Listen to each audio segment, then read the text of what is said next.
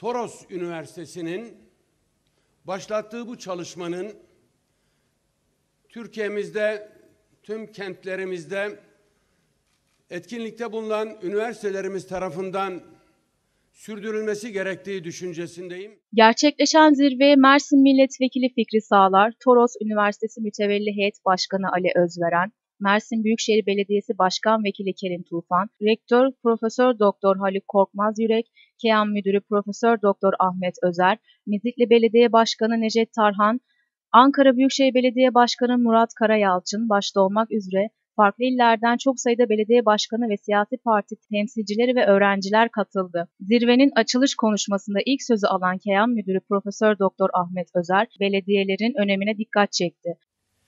Yerel yönetimler çok önemli. Gittikçe de önemi artıyor. Bir, bir kere şurada nüfusumuzun yüzde 88'inin belediyelerde yaşadığı dile getirilmişti.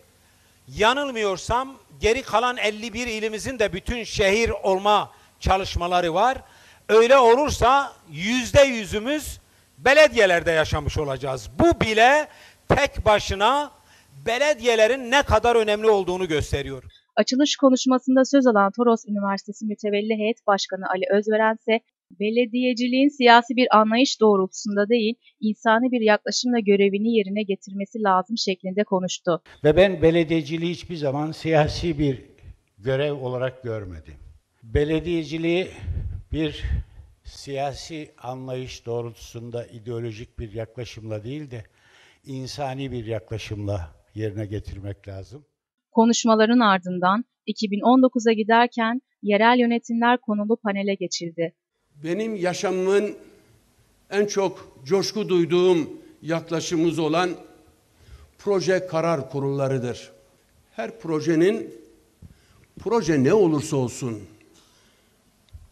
ister kentleşme projesi olsun, ister yeni kent projesi olsun, ister kentsel dönüşüm projesi olsun.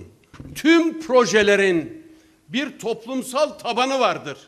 Tören plaket ve çiçek sunumu ile sona erdi. Çankaya Belediye Başkanımız Alper Taşdelen'e plaketlerini takdim ediyorlar. Neşet Bey var. Size verecekler hocam. Bizden rica ediyoruz aşağı inmezlerse toplu bir fotoğraf alacağız çünkü.